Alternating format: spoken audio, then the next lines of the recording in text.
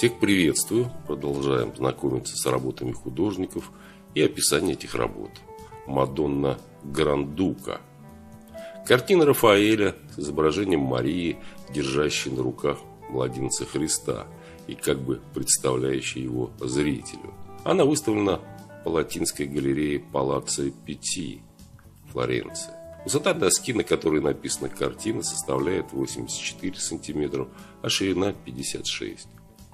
Предполагается, что картина была написана Рафаэлем вскоре после переезда из Перуджи во Флоренцию в 1504 году под влиянием знакомства с работами Леонардо да Винчи. На влияние Леонардо указывает использование техники сфумата. Это термин, обозначающий в изобразительном искусстве мягкость моделировки, особое качество живописной манеры, плавность тональных переходов, расплывчатость и размытость контуров.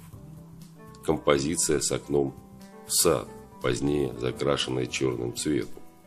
Принадлежит ли черный фон кисти самого Рафаэля, доподлинно неизвестно.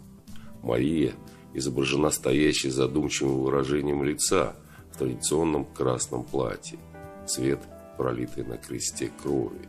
И синие накидки, голубой цвет, символизирует непорочность.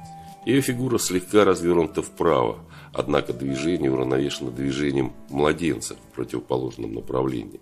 Свое нынешнее название картина получила в честь великого герцога Фердинанда III, который приобрел ее у наследников художника Карла Дольчи и привозил в Вену, чтобы похвастаться приобретением перед родственниками из рода Габсбургов.